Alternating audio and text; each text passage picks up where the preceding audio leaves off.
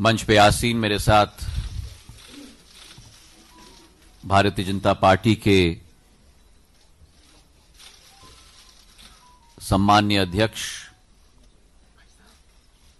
आदरणीय जेपी नड्डा साहेब, भारत सरकार के यशस्वी मंत्री और मेरे भाई धर्मेंद्र प्रधान जी, हमारे गृह राज्य से उपस्थित विनय सहस्त्र बुद्धे जी, हमारे मध्य प्रदेश के भारतीय जनता पार्टी के अध्यक्ष बीडी शर्मा साहेब, अनिल जैन जी, राष्ट्रीय महामंत्री अरुण सिंह जी जय पांडा साहेब, ज़फ़र इस्लाम साहेब, और मंच पर आसीन सभी गणमान्य सदस्यगण।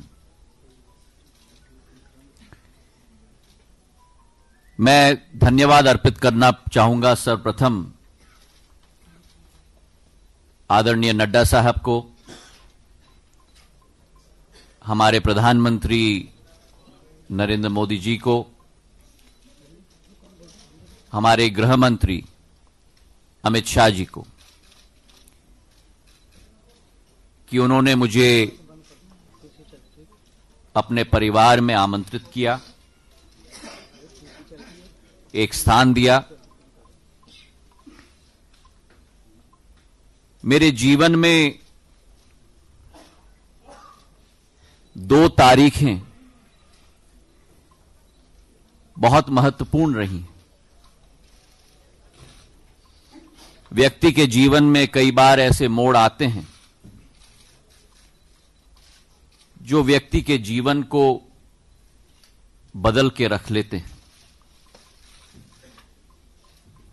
और मेरे जीवन में वो दो दिवस, पहला दिवस 30 सितंबर 2001 जिस दिन मैंने अपने पूज्य पिताजी को खोया।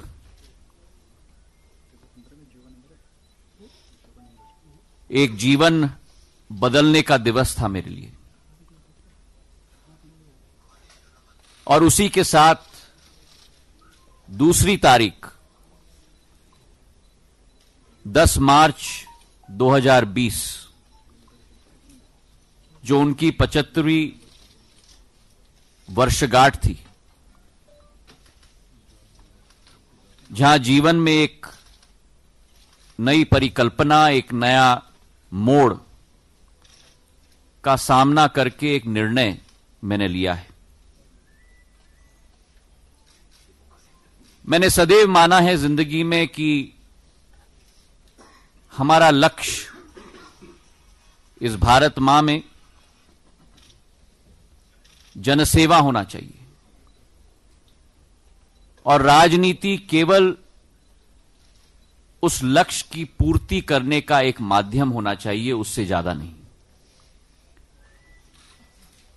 मेरे पूज्य पिताजी ने और जो पिछले 18-19 वर्षों में समय हमें, मुझे मिला है प्राणपण के साथ और पूरी श्रद्धा के साथ प्रदेश की और देश की सेवा करने की कोशिश की है।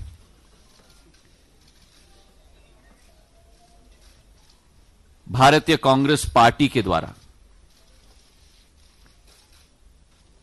लेकिन मन व्यतीत है और मन दुखी भी है, क्योंकि जो आज स्थिति उत्पन्न हुई है मैं ये कह सकता हूँ विश्वास के साथ कि जनसेवा का लक्ष्य की पूर्ति आज उस संगठन के माध्यम से नहीं हो पा रही है।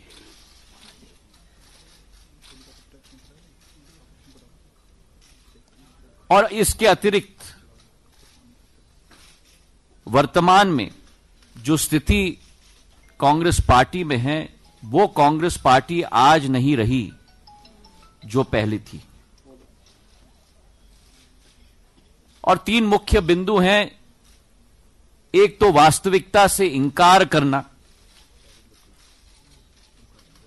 और वास्तविकता से इंकार करके जो इबारत लिखी जाती है, उसका समावेश न करना,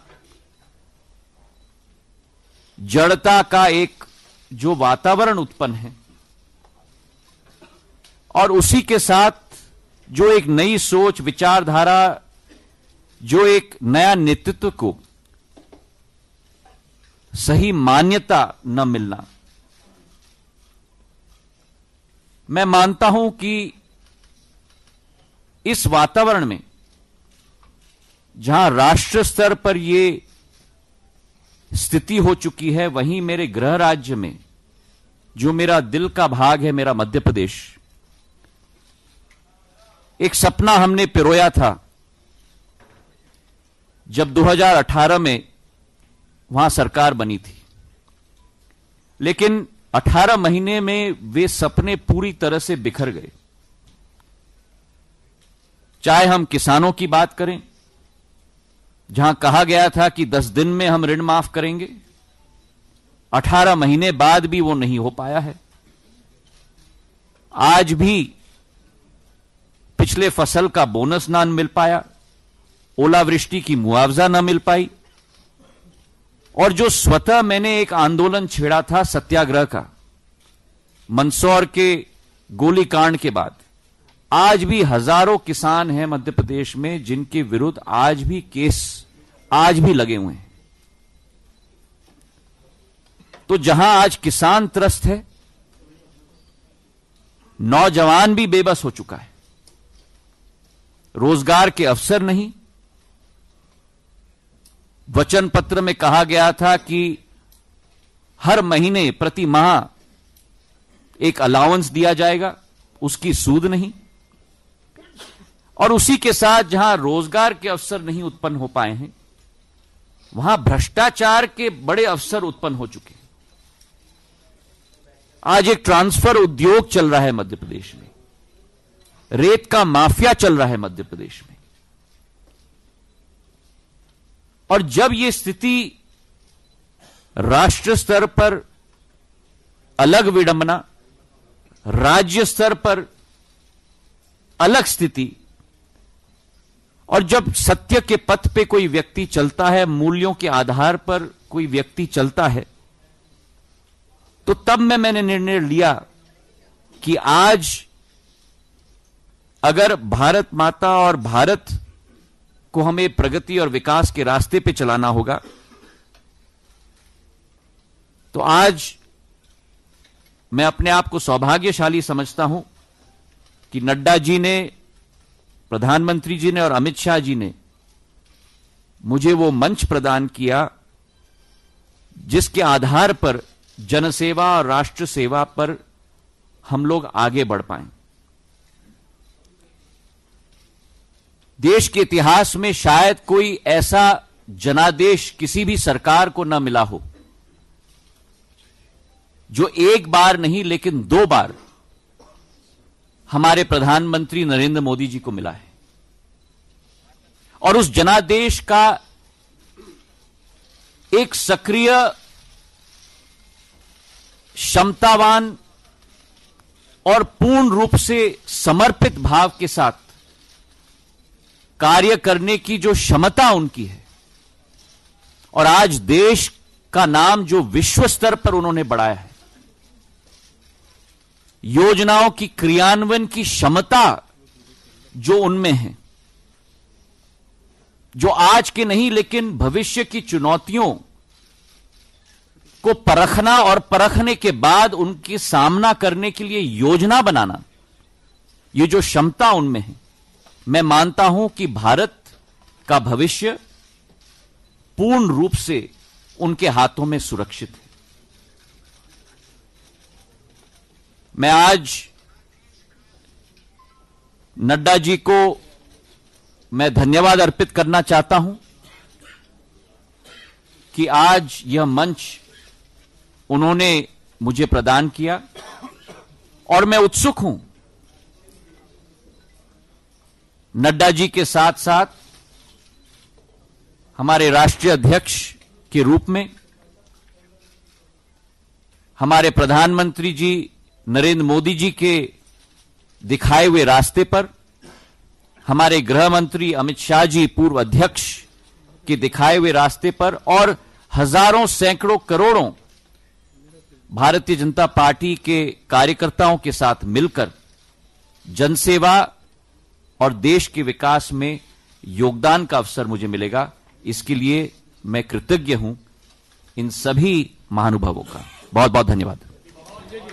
आज के दिन बस इतना ही।